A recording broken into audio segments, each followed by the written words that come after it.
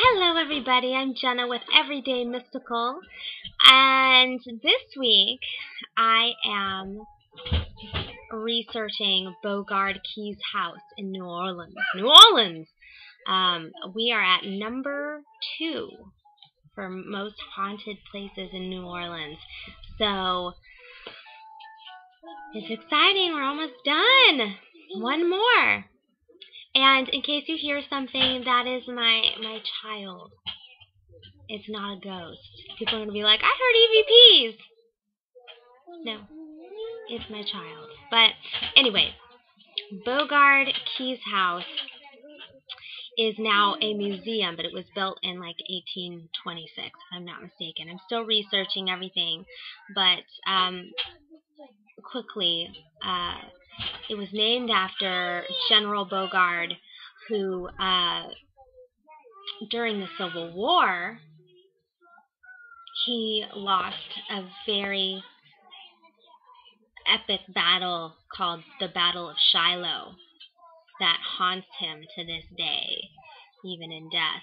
Um, Shiloh actually means peace in Hebrew, if I'm not mistaken, and um, it's it's just really sad because uh, nobody won, and over fifteen thousand people died. Um, and supposedly cops sometimes um, pull up to the to the mansion and they can see flashes of light going on in the house and people walk by and call the cops because they see light and hear gun gunshots um, smell gunpowder even, and uh, and people that have worked there have even seen um, dead soldiers lying around and, and people fighting, and uh, it's just really sad. And sometimes people hear uh, General Beauregard whispering Shiloh, Shiloh, Shiloh, because he um, it just tortured him that he lost that battle. And just the war went on you know the american civil war went on way longer than it was supposed to. It was only supposed to be a couple months. Um and he was taken away from his family for a long time. I think his wife died in the process if i'm not mistaken. And um you know he he he was he was miserable. He only lived in the house for about three years. Um but he's still there. And uh, Frances Keyes, who's the other part of, of the title of Beauregard Keyes' home, is uh, she was an author, and for 25 years in the winter, she used to stay there. Um, and my child is going crazy. I'm sorry. He's throwing things now. Um,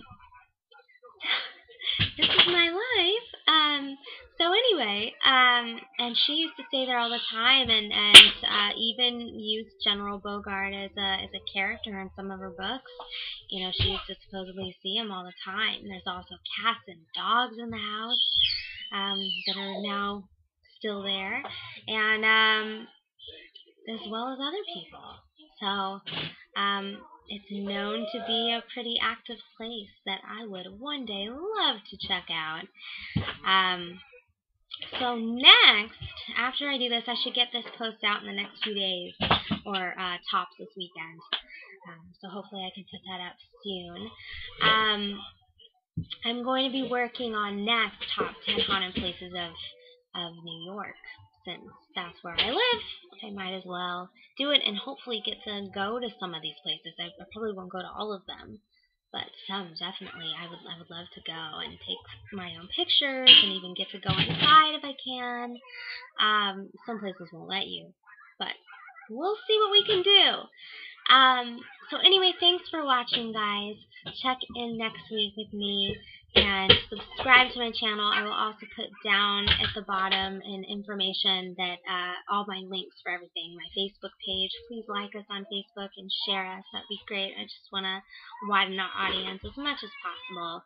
Um, please send in your stories. I will put your paranormal experiences. I just would love to hear. So I will put my email down at the bottom as well. So you can email me your stories. Um, My child. He's just like. um, what else? I will put down my Twitter page and my website, obviously, of course. Okay?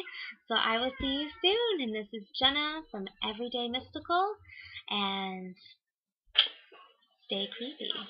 Alright, talk to you later. Bye.